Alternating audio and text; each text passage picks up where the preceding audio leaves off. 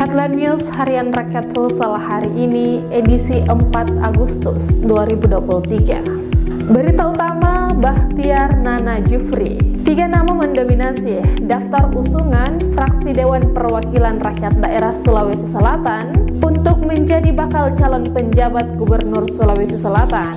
Ketiganya adalah Bahtiar, Nana Sujana, dan Jufri Rahman. Sementara itu, DPRD Sulsel hari ini juga akan menggelar rapat paripurna pemberhentian Gubernur Sulawesi Selatan Andi Sudirman Sulaiman. Berita selanjutnya, GBH mulai tak bertuah.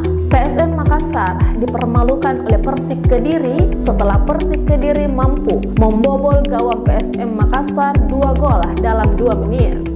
Skor 2-1 bertahan hingga akhir pertandingan. Kekalahan dari Persik Kediri ini merupakan kali kedua bagi PSM Makassar kalah di kandang sendiri setelah sebelumnya takluk dari Dewa United pada 8 Juli lalu. Berita terakhir, tujuh jemaah masih dirawat di Tanah Suci.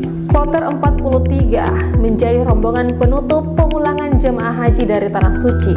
Meskipun begitu, tujuh jemaah haji dari Makassar masih menjalani perawatan di Tanah Suci dan belum dapat dipulangkan.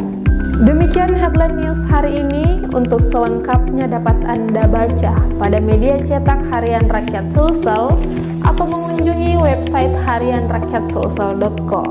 Terima kasih, sampai jumpa dan selamat beraktivitas.